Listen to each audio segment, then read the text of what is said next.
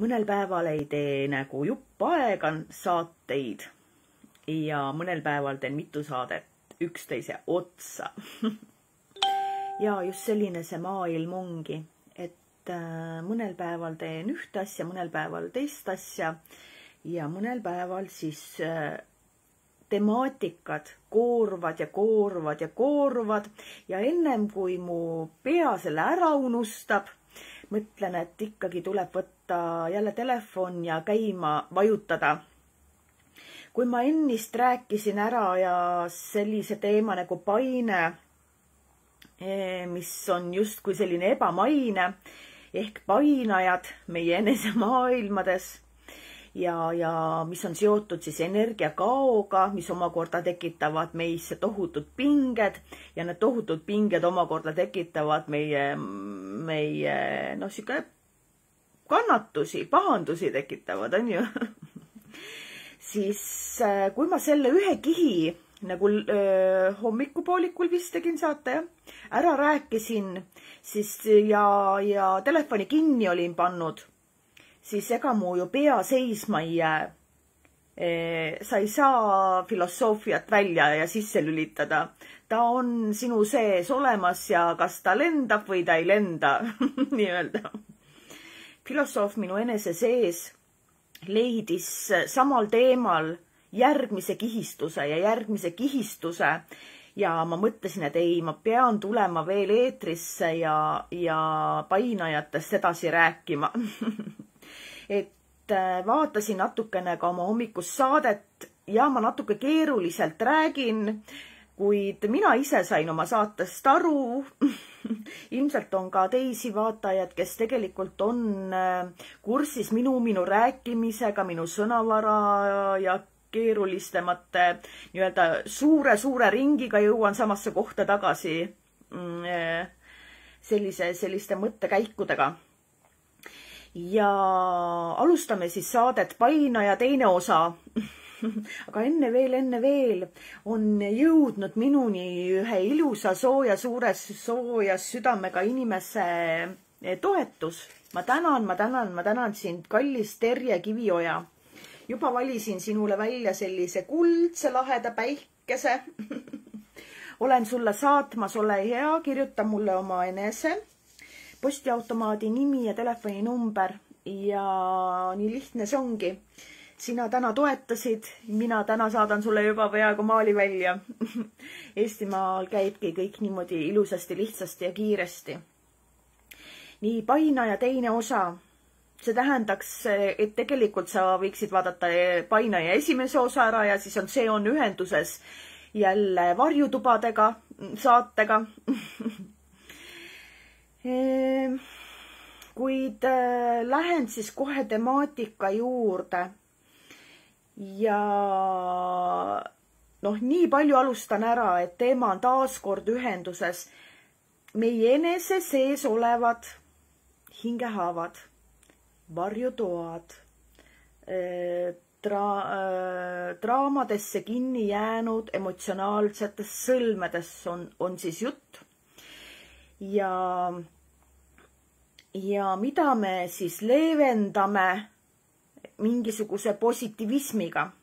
ehk siis meil on olemas mingi negatiivne tuba, mida, mille, mida me üritame tasakaalus hoida mingi positiivse leevendustoaga. ja aga kuna me ei tegele ära selle alg, alg valukeha põhjustajaga. alg, miks teil on see varjutuba üldse olemas? miks see negatiivne emotsioon on seal kinni, miks ta on olemas? miks te jooksete leevendama, te ei pea leevendama, kui te varjutuba koos sealse negatiivse emotsiooniga vabastada ja kuna te seda kõike eirate ja leevendustuba on justkui iseenesestmõistetav, sest et ümberringi kõik seda ju teevad ja kasutavad, siis sealne vahepealne käik nii-öelda ongi see paine ehk siis sinu enese valu kehas vaim äh,, vaimu äh,, lugu on ju psüühikas, on ju. et füüsilisest, kui teil on midagi kuskil katki, valesti, põletikulises, auk on sees, siis valu annab teada, kus, kus on teil füüsilises kehas midagi korrast ära, siis sealne valu annab teile teada. kui te ikkagi näppu lõikate, siis teil näpp valutab, on ju nii kui te lööte varba ära, siis varvas annab teile aiusignaali, kus asub valu. aga kui teil on nüüd äh, nii-öelda psüühikas, teie enese nii-öelda vaimumaailmas, üks on füüsiline maailm, teine on see vaimsusmaailm. Teie enese vaimumaailmas on hingehaav sees, siis kuidas see haav annab sulle teada? selleks ongi see paine. kui füüsilises kehas on valu, siis vaimses kehas on paine ehk painaja. ja, ja mõned inimesed väidavad, et noh, unepainajat ilmselt te teate, te ei saa lõpuks enam magada kõiksuguseid muid painajaid on. ta isegi see painaja, ma tahaks nagu midagi, aga ma ei tea, mida ma tahan, aga ma tahan seda praegu, nüüd ja kohe ja hästi palju. see on ka paine, paine räägibki niimoodi. ja teate, kuidas paine veel räägib või? ta räägib vinguvas ja halavas ja haletsusväärses kõnekeeles. sihuke täpselt nii kui teil oleks on füüsiline valu, nagu väike, väikest laps vaadates, kui tal kuskilt valutab, kui tal hambad tulevad või tal on gaasivalud, siis äh, ta ei oska veel seda, seda seletada, mis tal on, aga ta hakkab tegema teatud häälitsusi. psüühikaga, psüh-, äh, psüühes on täpselt samamoodi. kui teil on see lapsepõlvetrauma või teil on see mm, eluloo raamatuga seotud hingehaavade valitud eksami nii-öelda komplekt on läbikogemisel oma enese nii-öelda eh, eh, surmaoruks nimetatav faas suure tõenäosusega. On, on käsil, siis sealseks kõneviisiks on ka äh, ha, halamine, virisemine, irisemine kaagutamine, mölisemine ja ka arvustamine ja hinnangud. see kõik on painaja tunnusmärk ehk siis vaimne valu sinus eneses, mis otsib väljundit väga erineval kujul kusjuures päriselt äh, arvustused ja hinnangud on, on vägagi väga ja vägagi painajaliku kõneviisi tunnusmärgiks. nii e,. toon siin veel, hakkan eluolulisi näiteid tooma ja võib-olla siis läheb pilt selgemaks, millest on jutt mis on see paine seal, mis on niivõrd ebamaine, mida ei ole justkui nagu näha, aga ta halvab, halvab kogu sinu maailma mõnikord aeg-ajalt ja võtab isegi sinu füüsilise maailma, maailmast nii-öelda oma halvatusega nagu, nagu üleni hoomab oma halvatusega ka füüsilise maailma lõpuks.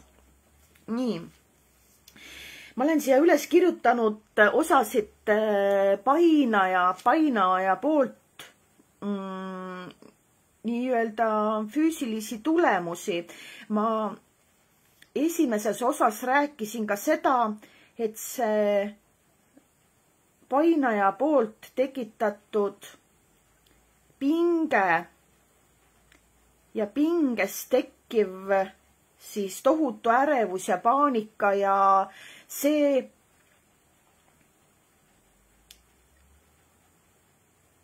mul on väga-väga keeruline sellest äh, painajast rääkida, sest ta on noh mm,, ma olen ta justkui nagu paljastanud.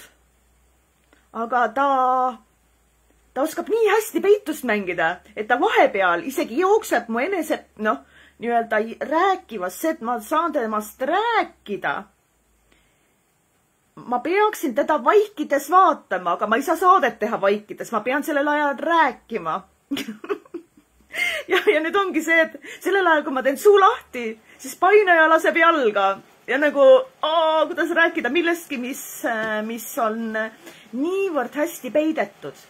ja te kuulete, krõbin on, aken on lahti ja meil sajab lõpuks vihma, hurraa, hurraa, hurraa. nii proovin keskenduda ja võib-olla mul õnnestub selle painajale niimoodi plahti nagu paremini pihta saada. toon teile elust enesest näiteid. naine ja naine voodis ja orgasmid ja see, et ei saa orgasmi, ei ole er,, eh, naine ei suuda rahuneda, naine ei suuda erutuda, naine, naisele ei teki noh, nii-öelda ei lähe märjakski, on ju see on seotud painega, paine on üle võtnud. mis sellel naisel on siis? sellel naisel on hästi palju seksuaalsuse ja alastuse ja naiseks olemisega varjutubade emotsionaalseid ülepingeid ja tal ongi see, milline ma välja näen, kas ma kõlban, kas ma maitsen hästi nii-öelda, eh, kas ma olen ikka erutav, kas see, kas see on ju tegelikult alandav ja see on üldse häbi ja selline, selline, selline. kui naisel on hästi palju enda naiseks olemisega, kehaga, rindadega, oma alakehaga, noh, oma väljanägemisega, tohutult palju negatiivseid jutustusi, negatiivse alatooniga muinasjutte, siis loomulikult, kui ta lõpuks peaks nii-öelda jõudma, ikkagi soovib partnerit ja lõpuks jõutakse sellesse voodisse välja. nagu ma ütlesin, paine võtab üle eh, sinu kehasse füüsilisel kujul ilmneb just nimelt mingisuguse füüsilise soorituse ajal kõige kõrgemal kujul. ma tõin eelmises saates näite eksami ajal. Te kaotate oma pea ära ja te ei mäleta justkui mitte midagi. või äh, lavahirm. just sellel ajal, kui kardinad eest ära lähevad, te olete kardina taga ja te annaksite miljoni, et te saaksite sealt ära põgeneda. see ongi paine, onju. Äh, reisipalavikud mm. -hmm. kõik sellised asjad, mis ma ennem välja mainisin aga naine, kes ei saa orgasmi, eh, kes ei naudi seksuaalelu, kes ei erutu, kes ei lähe märjaks, kes ei ole huvitatud. ja see paine ongi see, et see, selle naise vaimsus, psüühe omab tohutult palju väga suurte negatiivismidega eh, varjutubasid, mida ta siis mille leevenduseks ta kindlasti omab ka mingisuguseid positiivseid tubasid, mida, millega ta enda varjutoa olemasolu siis nagu õigustab. ah, kõik mehed on, ongi, tahavadki kõik ühte sama asja mm. -hmm. selline lause, selline lause viitabki, et ma oman seda oma õigustustuba, et ma ei peaks tegelema omaenese kehaga, naiseks olemisega, alaväärsuskomplekside eh, emotsioonidega. ja kui ta lõpuks peabki noh, tõesti sinna voodisse jõudma, sellepärast et noh, ikkagi mae, mees küsib rahuldust ja nii edasi, siis tulemuseks ongi ei ole huvitatud, ei ole erutust, ei lähe märjaks, ei saa orgasmi ja ma ei tea isegi, mis see on ja mind isegi ei huvita, mis asi see on. see on ka üle võimendatud kõik, noh, nii-öelda ja see ongi see, et kui lähebki selleks füüsiliseks soorituseks, siis sellel ajal see naine, ta ei olegi kontaktis oma eneseihuga. ja, ja ta ongi tõesti voodis lõpuks ka ikkagi mehe jaoks ka ebahuvitav ju. Sest et äh, naist pole justkui kehas sellel ajal. Ja, ja kui neis, naist pole kehas, naist pole kodus, siis ta ongi tõesti see võimalik merineitsi võib-olla seal voodis. Ja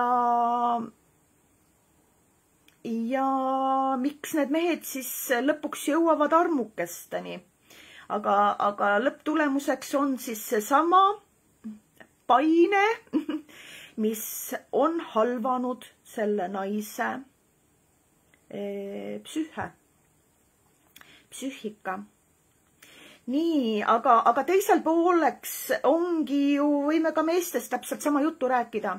mehed, kellel äh, nii-öelda need äh, kahe-kolmeminutilised mehed ehk siis kiire äratulemisega mehed ja, ja nagu ma ütlesingi, paine il, ilmneb just nimelt veel tugevamini sellel momendil, kui peab tegema mingisuguse füüsilise soorituse, on ju nii?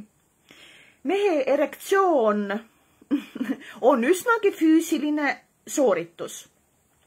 nii, ja nüüd, kui mees ise omab väga palju jällegi oma varjumaailmas meheks olemise negatiivsete emotsioonidega jutustusi ma olen liiga lühike, mu peeni, peenis on liiga peenike ja üldse, kas ma kõlban ja ma tean, et ma tegelikult olen kahe minuti mees ja, ja, ja nii edasi ja nii edasi ja nii edasi.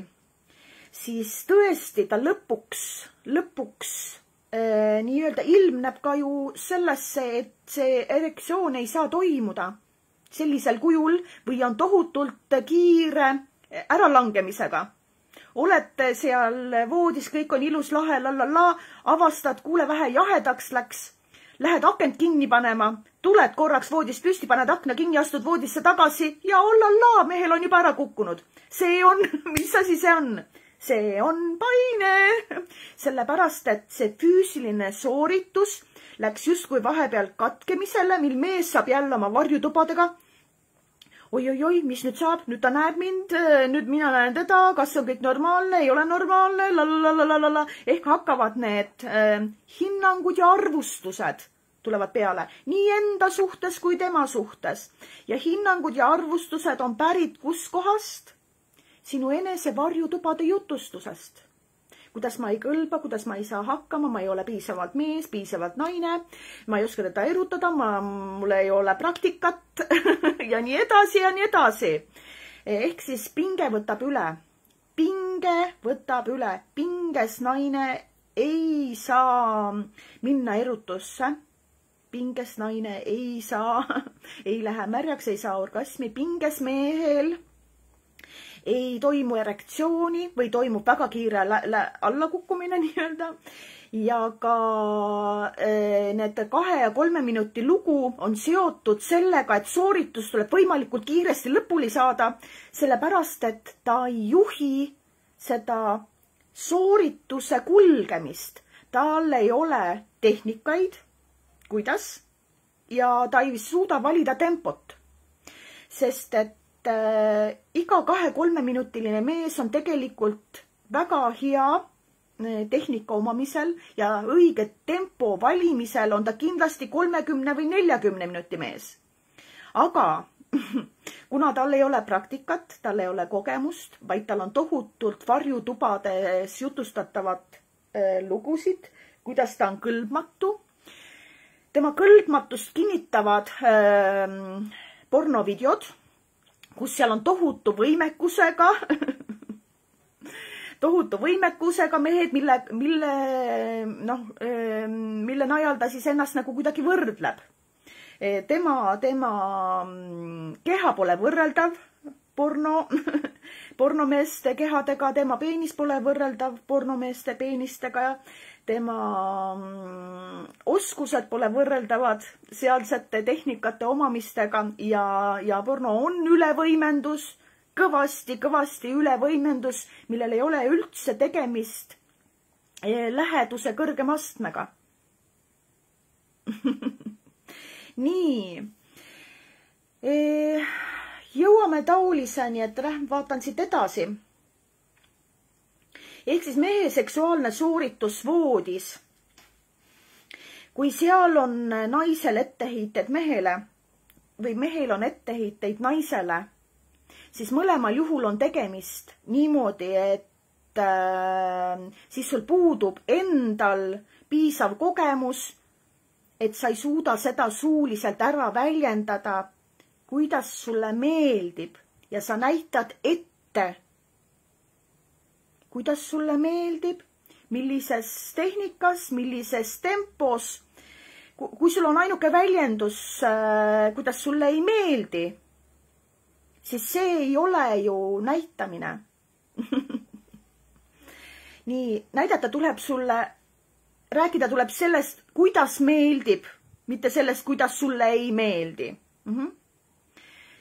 Äh, nii aa, selle peale mul tuli meelde ka üks Eesti film on olemas, Halastaja õde soovitan teil vaadata, minu meelest Eesti Televisiooni pealgi siin mingil lähi, lähiajal teda lasti uuesti. oli Halastaja õde ja sealne, sealne Eesti filmi, seal on ka kokkuvõte, ongi see, et äh, seal on üks medõde kelle juurde satuvad siis suitsiidsed noorhärrad, kel, kes on hädas olnud oma seksuaalse soorituse läbikukkumisega.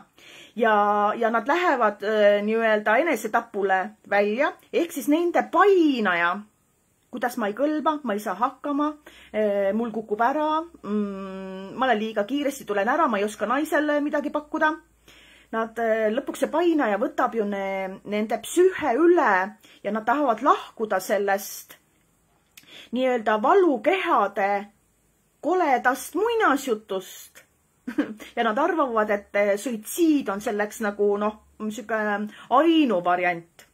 ja kui need äh, suitsiidsed noor, noorhärrad siis haiglasse satuvad, siis seal on üks halastaja õde, kes oskab nendega täpselt nii peenelt seal nii-öelda ringi käia, mil noorhärrad saavad tagasi oma enese seksuaalsuse meheks olemise sellised äh, enesekindluse.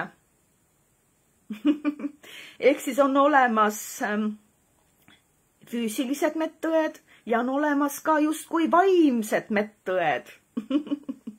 Aga noh, film lõpeb kehvasti, see vaimne medõde kes tegelikult aitab siis neid suitsiidseid alaväärsuskompleksidega noorhärrasid, ta lihtsalt suurest äh, kadedusest äh, lüüakse lõpuks ikkagi maha vot nii. ma loodan, et mind äh, keegi peale nende saadete väljarääkimist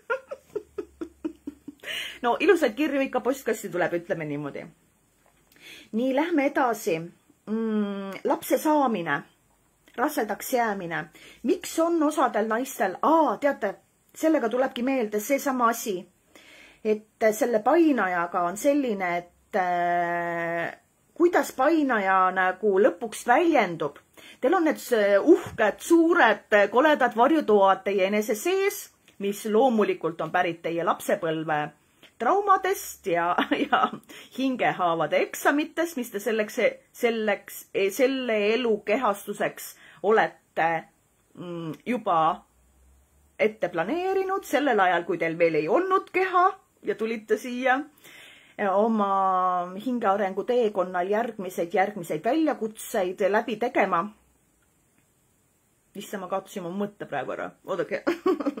Oodake, nii-öelda ja siis, ja siis see painaja nii-öelda seesama pinge, mis selle varjutubade ja leevendustubade tohutust virvarrist, kuidas sa pead jooksma kogu aeg ja tasakaalus hoidma, see on nagu paadi, sa jooksed ühte paadi otsa ja ta hakkab ikkagi ära, ära, ära nagu uppuma, siis sa jooksed jälle paadi teise otsa, jälle, jälle, jälle hakkab ära kukkuma. aga kese, keskel on kese. Keskel on teie elu rooliratas. ja ja nüüd ongi seesama asi, et kui te tegelete sellest ühest äärmusest teise äärmusesse, mul on tohutud varjutoad, aga ma ei tegele, aga ma saan leevendada, ma saan leevendada, sest et see on minu mugavustsoon. mul on väga-väga mugav seal olla, sest ma ei pea ju enda sisse vaatama. ma pean lihtsalt muudkui sebima siin ringi ja lõpuks ma väsin ära siin, tohutult väsin ära, ma olen tohutus virvenduses tohutus virvenduses. Ja see vahepealne virvendus, kuidas ma siin nagu äh, vahepeal nendes äh, negatiivismist pean jooksma positiivismi, et äh, oma elu järgmist päeva ikkagi kuidagi korda saata, siis seesama virvarr, virvarr, see virvendus, see tohutu virvendus, see ongi paine, mis tekitab pinge, vaimsed pinged, mis lõpuks mõjuvad teatud süsteemidele sinu enese füüsilise tervises. nii, millistele süsteemidele? on paineid ehk siis pingeid, mis mõjuvad nii-öelda immuunsussüsteemile. mis on immuunsussüsteemile? mis teil hakkab toimuma siis kui immuun, äh, selle tohutu, tohutu nii-öelda, sest ähm, teil on mingid teatud hirmud, mingid hirmutoad, mida te siis, äh, teil on siis ähm, hirmutubasid, te seletate kuidagi, õigustate neid leevendustubadega.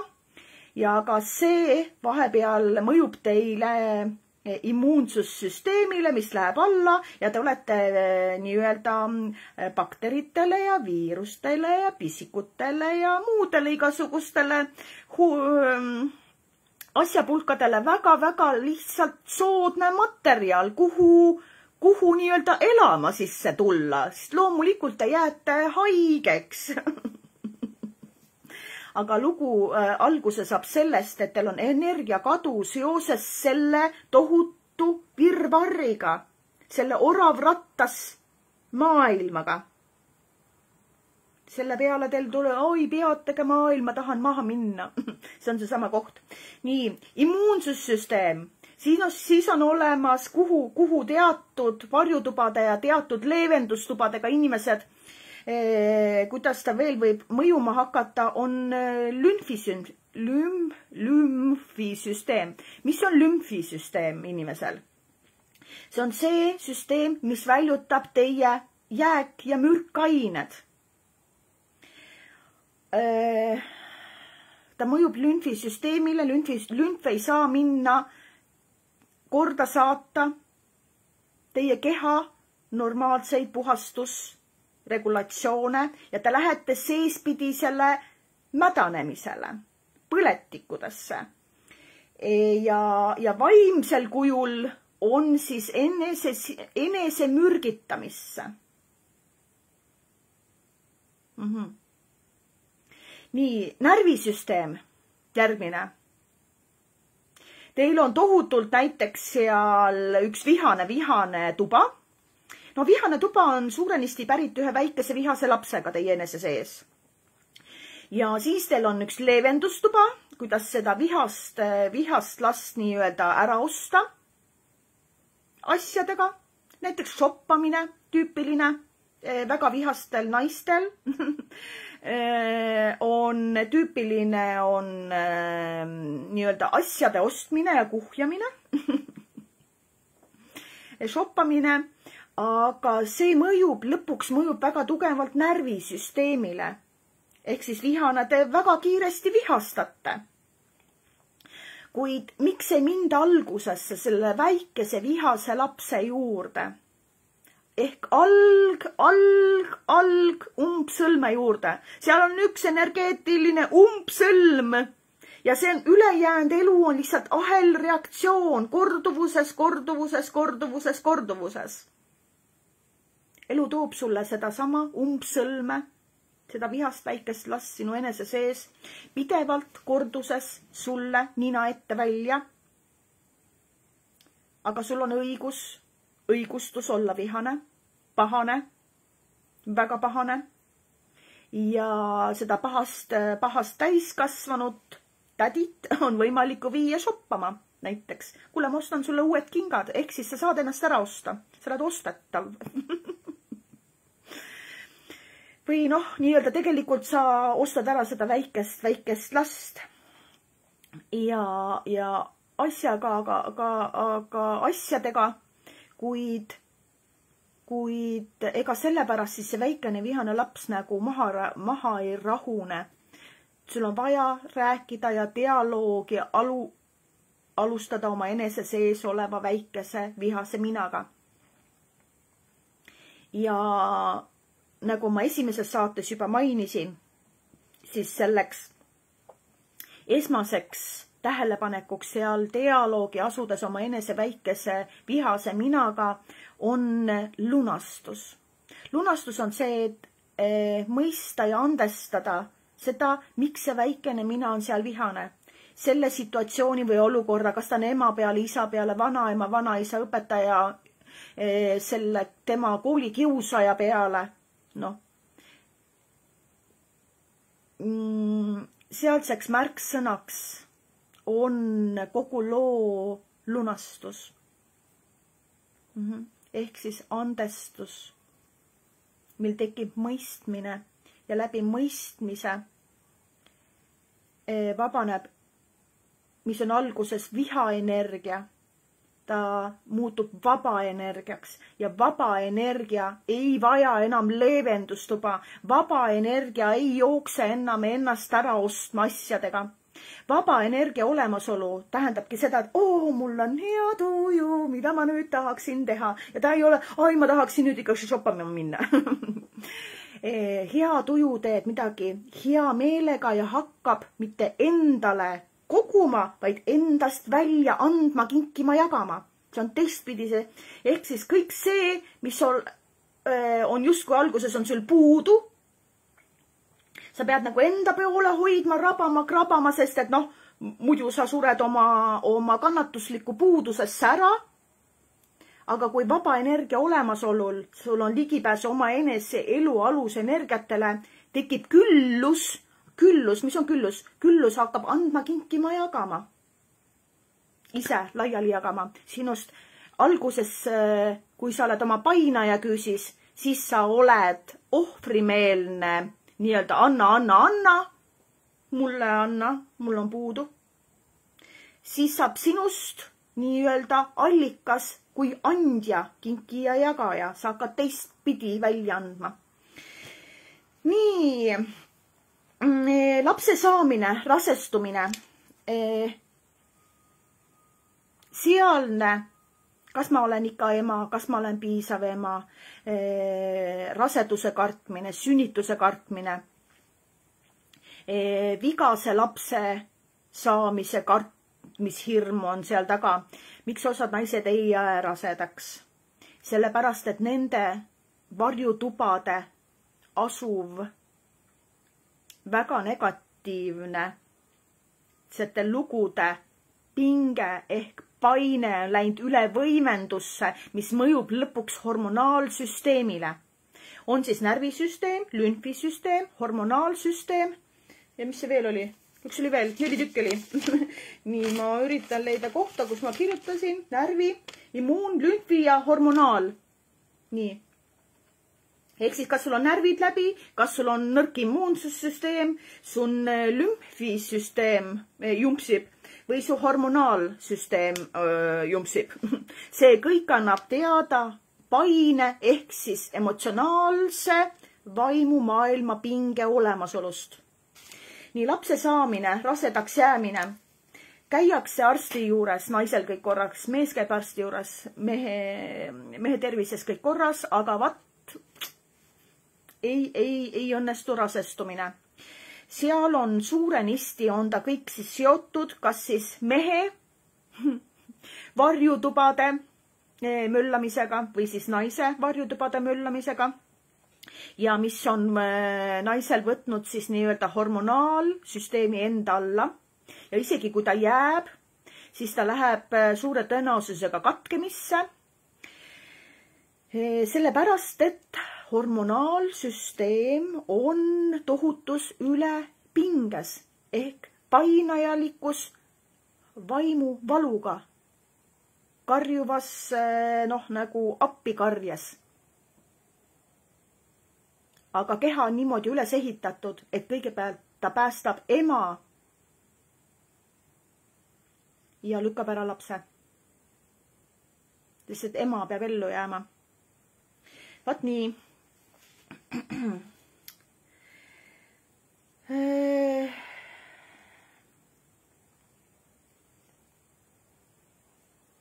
nii, ma sellisel, ma siinkohal mainin veel ära, et kui inimene ei tegele oma varjutubade, oma lapsepõlvetraumade emotsionaalsete eh, punktidega, oma hingehaavade nii-öelda olemasoludega, siis ta ei ole kursis, mis on tema need põgenemistoad ehk siis need leevendustoad, lohutustoad ja millega ta siis ennast nagu maha rahustab. ta ei ole kursis ta, see toimub, tal, see kõik on läinud tema maailmas nii iseenesestmõistetavalt automatismi peale, milleks lõpuks on üldnimetuse all mugavustsoon. ja väga-väga tihti on see, et kui sul enda leevendustoad, väljamõeldud leevendustoad enam ei tööta, siis sa uurid ja võtad üle teiste inimeste leevendustubade süsteeme mis teatud ajal justkui toimivad. aga lõpuks te ikkagi kohtute oma enesevarjuga, sest et te ei tegele algallikalise põhjusega. Te ei vaata otsa omaenese emotsioonide virvarri eh, nii-öelda tsentrifuugile teie enda maailmas ja te võtate üle ka teiste väga-väga nii-öelda näiteks ähm, mm, osad väga hästi sisse räägitud meditatsioonid. panete klapid pähe, kuulate ära, oi kui hea rahulik magama jääda. aga kui teie sees on endiselt see väike vihane mina või solvunud või pahane või kibestunud või pettunud või, või mm, nii-öelda tagakiusatud või süüdi või või äh, nii-öelda alanduses või reedetud või ebaõigluses või mahajäetuse või hülgami, hülgamistoaga. väik-, väike sina. siis ükstapuha, kui kõrgetasemelisi leevendustubasid sa endale ostad, siis äh, mahajäetuse või hül-, hül-, hüljatud äh, eksamiga hingehaava eksamiga nii-öelda kehastunu ühel ilusal päeval ta peab, jõuab sellesse punkti, et ta peab sellele ikkagi nii-öelda otsa vaatama. sest vastasel, vastasel juhul see painajalik vaimne pinge rikub ära tema elu väga tugevalt, sa lähed väga tugevasse kannatustesse väga,, väga-väga sügavatesse kriisidesse, depressioonidesse, stressidesse, haigustesse välja. aga miks sa jõuad nagu kriisidesse, kannatusse, haigustesse, on see, et äh, sa ei vaata oma enese äh, sees asuvatesse negatiivsete emotsioonidele ei vaata otsa, vaid sa jooksed kohe leevendustuppa ja kui need ei tööta, siis sa ostad endale eh, nii-öelda õpid, õpid juurde uusi ja uusi leevendu-, leevendustubasid ja kaotad ära aja, raha ja energia sinna. ja nagu ma ütlesin, et on olemas vaimsed olendid ehk siis selle paine taga, ehk siis selle vaimse pinge taga on alati keegi, kes on sinu sellest energiakaost väga huvitatud, väga huvitatud, et sa endiselt omaksid neid varjutubasid ja neid leevendustubasid ja jookseksid nende vahelt ja genereer-, genereeriksid sellega seda painet ehk siis seda vaimset äh, pinget sinna ja energia sealt lekiks ja tema need vaimsed olendid on väga huvitatud sellest, sest et nemad on, nad toituvad sellest, see on nende toit, sina ja sinu virvendus on nende jaoks magustoit, sa oled üks väga magus tükk. Ja, ja need olendid lausa võitlevad, võitlevad, et sind kui kõige magusamat magustoitu endale saada ja sellega seoses ka teie nii-öelda justkui pinged vahelduvad. kord on immuunsussüsteem jumpsib, kord, kord närvisüsteem ütleb alt, kord on lümfi, lümfisüsteem nii-öelda, sisemised pikad põletikud, mis ei allu ravimistele, toimuvad. ja, ja siis, mis see neljas oligi siin? Nii, ja hormonaalsüsteem naistel, päevade suured kõikumised, süstid, raseduste katkemised ja, ja emaks olemise ema, noh, nii-öelda hormo-, hormonaalsüsteemidega seotud tohutud kõikumised. Need ongi seotud sellega, et erinevad erinevad painajad on teil, teiega suuri sõdasid maha pidanud, et teid kui magusamat magustoitu endale lüpsilehmaks saada. Aga tuletan veel kord meelde, teil, teie olete nendest painajalikest tegelastest tuhandeid kordi võimsam see on samamoodi, et minu, minu nahal ka kindlasti siin sõrme all on tuhat bakterit praegu elamas ja, ja mina kui nii-öelda nende, nende emalaev pakun neile niisugune hea, sooja ja turvalist keskkonda, kus siis äh, nii-öelda oma, oma elupäevad kuidagi korda saata, jah. Mm ma räägin, see painajalik lugu on nii keeruline rääkida, sest et kui ma vaatan teda läbi vaimusilma, siis sellel ajal ma ei saa rääkida ja kui ma hakkan rääkima, siis ta laseb jalga nii-öelda, et ta nagu teab, et ta on liistule võetud ja ma selle videoga pal-, paljastan väga-väga paljude painajate olemasolu. kui te natukenegi mõistate kui te natukenegi mõistate seda minu loetud praegu juttu või teksti, siis, äh, siis ainuüksi seda teadvustatud tähelepanuga jälgimine. millised on minu emotsioonid? kuidas ma leevendan või rahustan seda emotsiooni? kui palju mul tekib sellest pinget ehk siis painet? ja, ja kui see on pidevalt, ta muutub alaliseks, ta muutub alaliseks pingeks, mis lõpuks läheb ka kehasse üle, teil on selg või kael kinni või see või teine või kolmas. nii Marit Aro mõista, mõistab, väga tore, kui sa mõistad, siis järelikult sinu paine on paljastatud. vot nii. ja, ja nüüd, kui ta on nagu paljastatud, ehk siis sa saad teadvustatud kujul teda hakata vaatlema, jälgima ja, ja nüüd sa hakkad ka mõist-, mõistma seda, et kui sul on vähegi, vähegi, vähegi negatiivne emotsioon, siis mida mi,, mida sa kohe-kohe-kohe äh, asud sinna positiivsega teda nagu tasakaalustama. ja kui palju sul läheb vahepeal aega ja energiat ja pinget tekib sulle sinna vahepeale. ja kui see nii-öelda on muutunud niivõrd automaatseks, et ta lõpuks moodustab teie iseloomu osa ah, ma olengi selline närvihaige. sa ei tea või, ma sündisin juba sellisena. kallis inimene, sa sündisid täiesti valge puhta lehena ja sa sündisid oma enese ema, isa ja ühiskonna ühisvälja nii-öelda varjutubadesse. ja kõik need varjutoad on ja need äh, situatsioonid ja olukorrad seal kõik juhtusid. kuid see, kuidas sa selle emotsiooniga toime tuled, see on sul õpitud, õpitud. ehk siis õpitud abitus, ehk siis ei ole õpi-, õpetatud meile, kuidas emotsioonidega toime tulla. ei lasteaias, ei koolis. kui sa oled vihane, mida teha vihaga, mis on viha?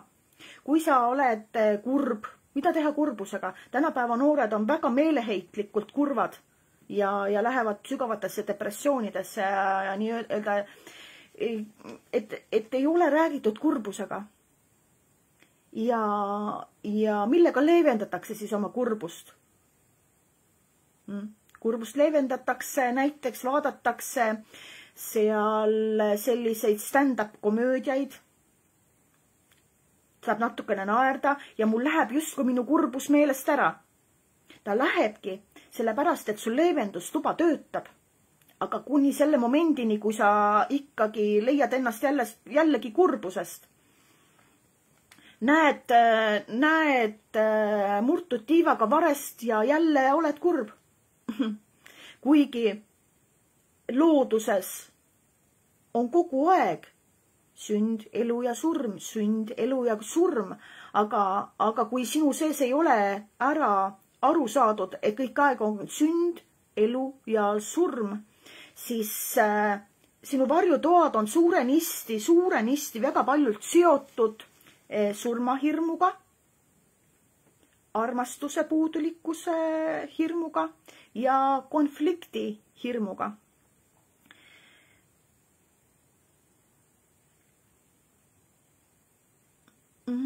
jah, need on kolm kõige suuremat varjutubade hirmude alamliiki, nii-öelda nimetasin praegu välja. ja nendel on alati mingisugune, millega see, millega see päädib. kui sul on mm, armastuse armastuse hirmuga seotud varjutuba, siis äh, loomulikult sa lähed äh, nii-öelda ja teed sinna vastu, vastutasuks mingisugune äh, nii-öelda tõestamise, armastuse tõestamise leevendustoa. tegelikult armastus ei vaja, tal ei ole otseselt eh, ei varju ega armastust ei pea ka kuidagi tõestama. tõesta mulle, et sa armastad mind kes seda lauset ütleb küll, huvitab, huvitav on ju. Eh, surmahirmuga öö, surmahirmuga varjutatud varjutoad päädib alati sellega, mis on nii-öelda seotud sellega, et elu hakkab sulle ise lähedale pakkuma surmaga seotud situatsioone ja olukordasid. seal on avarii ja tema jäi haigeks ja, ja tema seal ja ja siis su silmade all, ma ei tea, astud hiirele peale kogemata ja ja konfliktihirm, konfliktihirm äh, on seotud sellega, et äh, kuna ma ei ole väärt olemist, siis ma teen mida iganes, et maailmale ja sulle meeldida. et mitte sattuda konflikti siis see on konfliktihirm. konfliktihirm päädib alati hästi suure konfliktiga lõpuks. sest et äh, keegi ei taha tegelikult elada inimesega, kes teeskles rolli, et sulle meeldida. me tegelikult soovime väga elada endaga, kes me päriselt ise oleme. ja me soovime endale lähedale ka lähedasi, kes nemad ise on mitte, mitte välja mõeldud rolle, mis äh, lõpuks need rollimaskid, mis on välja mõeldud või üles ehitatud selle jaoks, et sulle meeldida, ehk siis ehitatud üles justkui valele ja teesklusele. lõpuks ühel päeval sul läheb meeles seda maski hoida ja, ja tõsi ja tõelisus tuleb ilmsiks.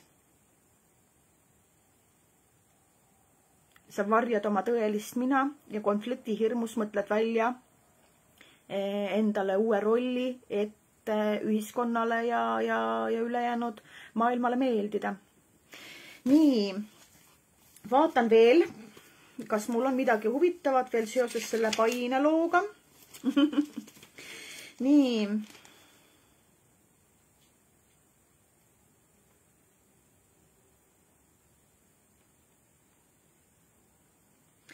nii äh,, sinu lähedased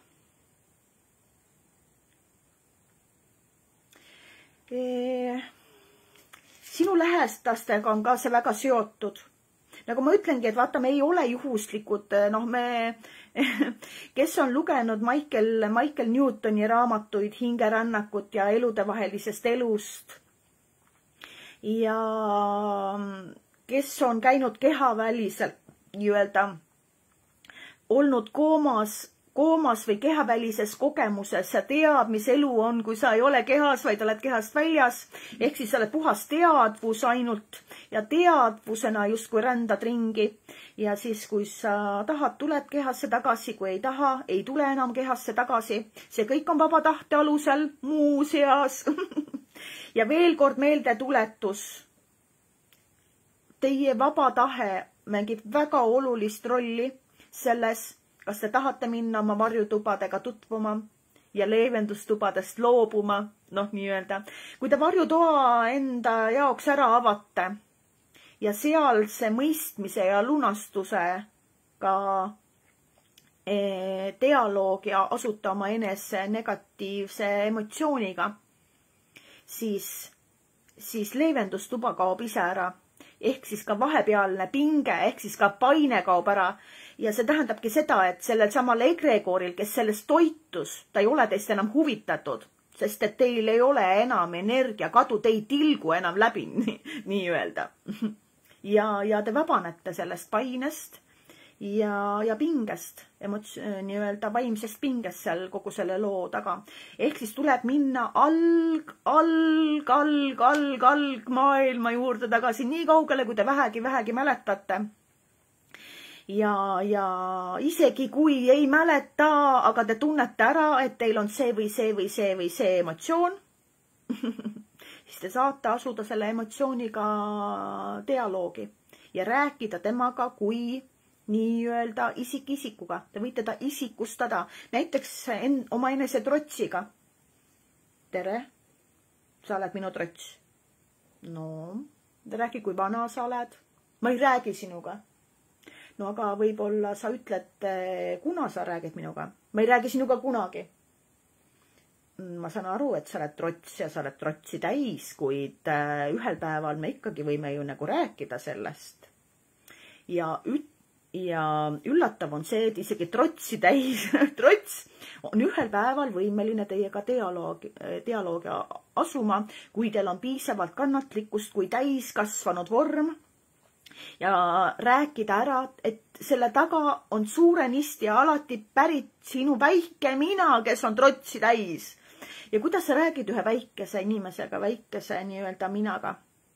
sa oled kannatlik, kui ta täna ei suuda, ta täna teid sinna kohta saadab, siis ühel päeval ta on valmis rääkima, näitama ta räägib, mis ta on, kes ta on ja, ja, ja mis on tema sooviks, mis on tema sõnumiks. ta on kõigest võimeline ennast avama sulle ja, ja toimubki siis lepitus ehk mõistmine ja sa lunastad endale, oma väikesele minale, enda täiskasvanud minale, enda olukorrale, nendele, kes, kes selle olukorra situatsiooni seal esile kutsusid ja vabaneb energia.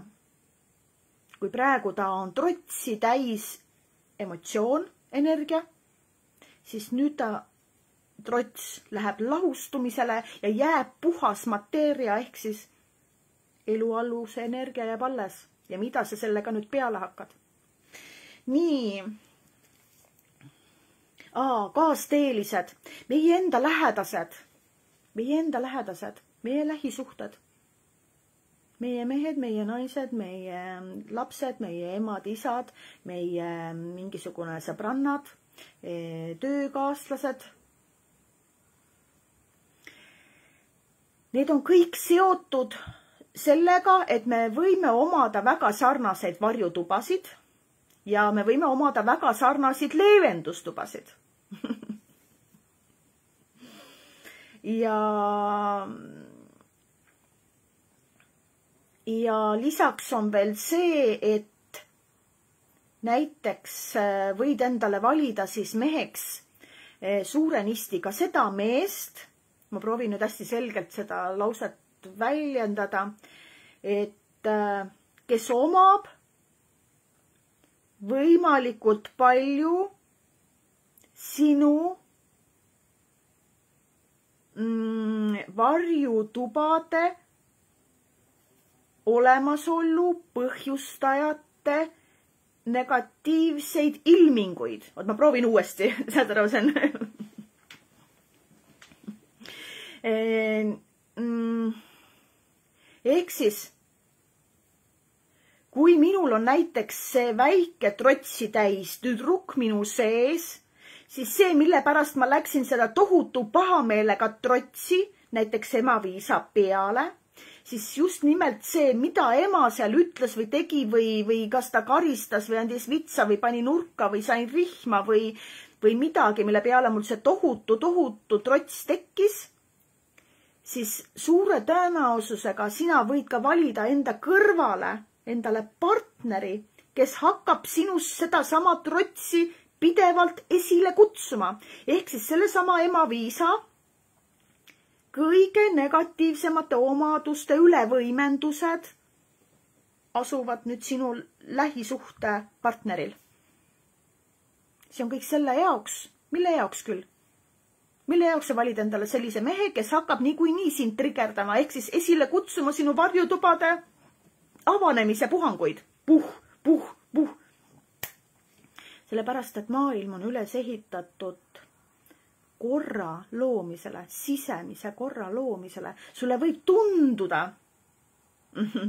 et minu lähedas, noh, nii-öelda lähedane lõpp, lõpuks on nii-öelda, et eh, sa lähed nii trotsi täis, sa lähed nii viha täis, sa lähed nii eh, nagu süüdi, sa lähed niisugustesse alandustesse ja ma ei saa sinuga elada, sellepärast et ma lähen hulluks kätte ära.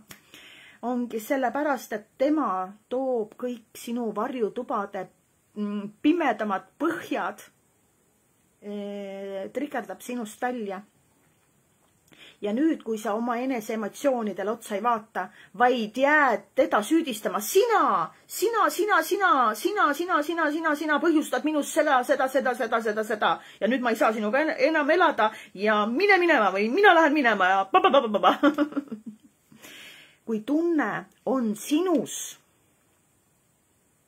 kui emotsioon on sinus, kallis inimene, siis ta oli juba enne, enne seal olemas enne kui see mees tuli ja sinna nupu peale vajutas, mis oli juba enne sin-, enne teda sinus olemas. ehk siis süüdi ei saa lavastada ühtegi inimest, kellel ei ole süütuba. saad aru mm? alandusse ei saa lavastada ühtegi inimest, kellele sees ei oleks ennem, ennem sees olemas alanduse tuba. sest et see on talle tuttav nii-öelda. ja nii see juhtus, just, just, just. Reedetud, reedetuks, sind ei saa reeta, kui siin, sinul ei oleks ees eh, reedetud äh, nii-öelda varjutuba sind ei saa, mm, sind ei saa nagu justkui sa ei saa mahajäetuse tunnet tunda, kui sinu sees ei oleks olemas mahajäetuse emotsiooni juba ennem sees olemas.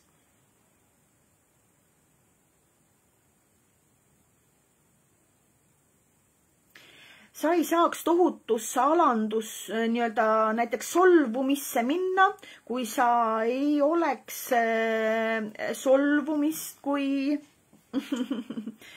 nii-öelda ühte emotsionaalset Äh, valdkonda juba ära õppinud, see on sul õpitud käitumine, see on sul automatism.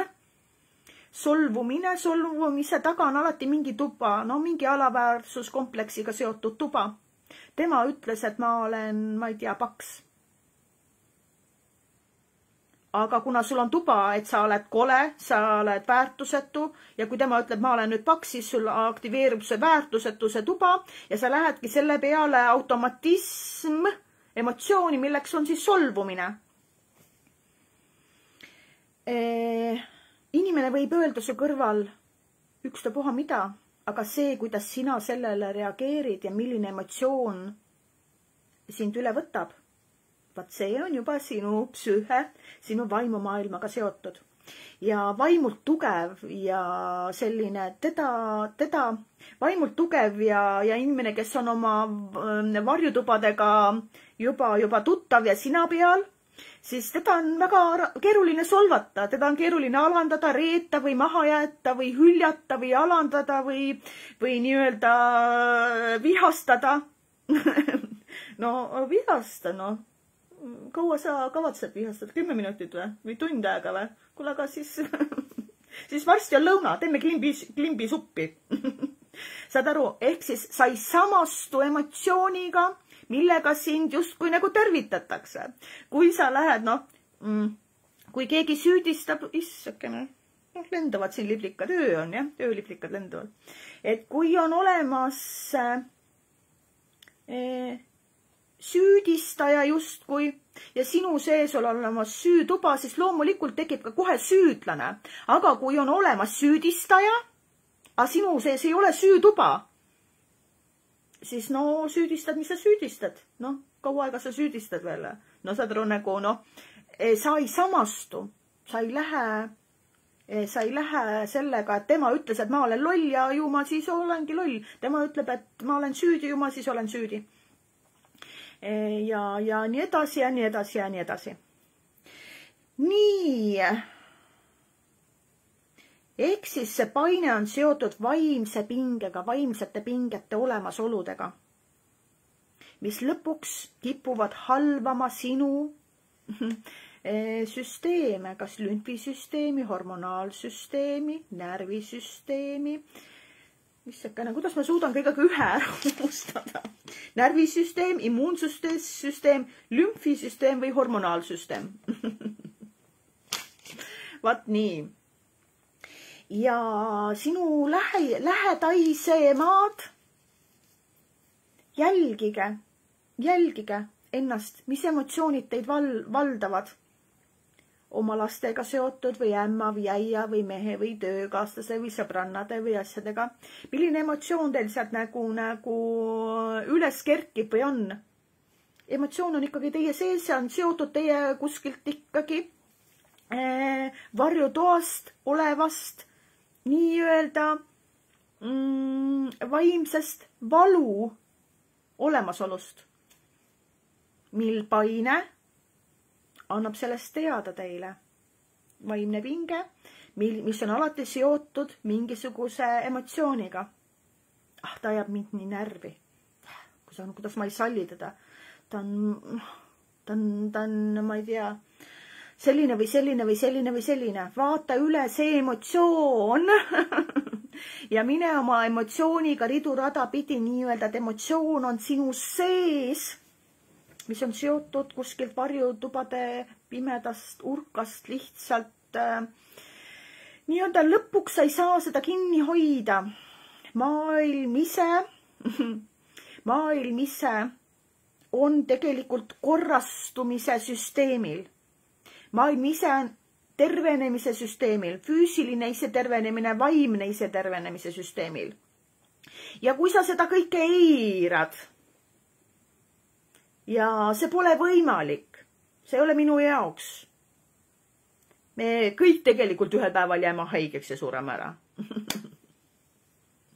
mis on iseenesest õigus, aga lihtsalt on see, et äh, kui kiiresti sa jääd haigeks ja kui kiiresti sa nii-öelda äh, su, su kehast loobuda tuleb. see on lihtsalt see aja, ajaline faktor ja see, milliste emotsioonidega sa siit teise ilma lähed ja kui sa ikkagi väga suure varjutoaga siit lähed, siis mis sa arvad, et äh, kuhu sa järgmises elus äh, sünnid?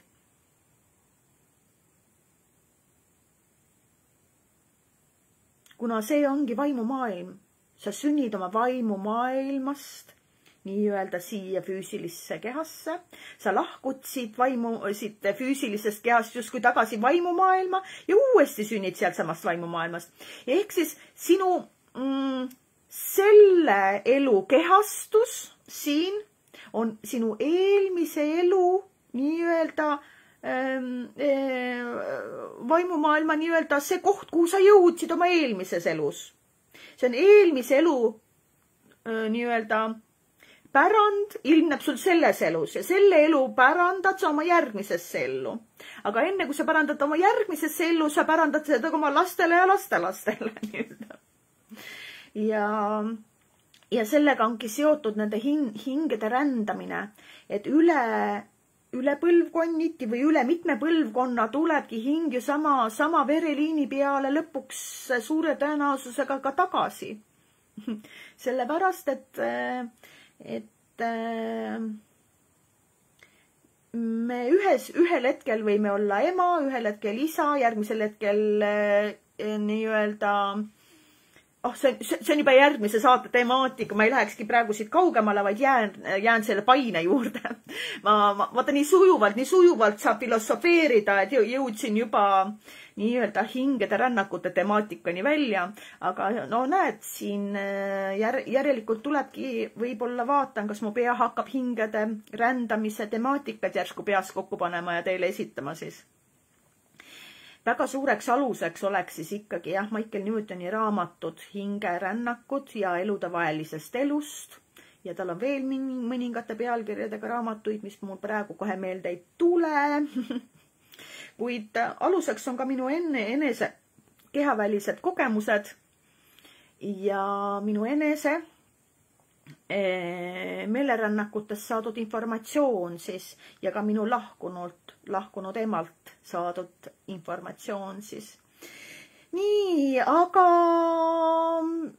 kellele see saade meeldis, sobis, te saite oma paine justkui natukenegi paljastatumasse vormi.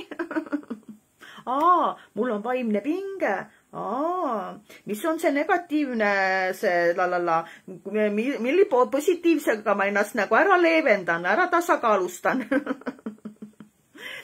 nii-öelda, mis te saate teha, te saate seda saadet jagada.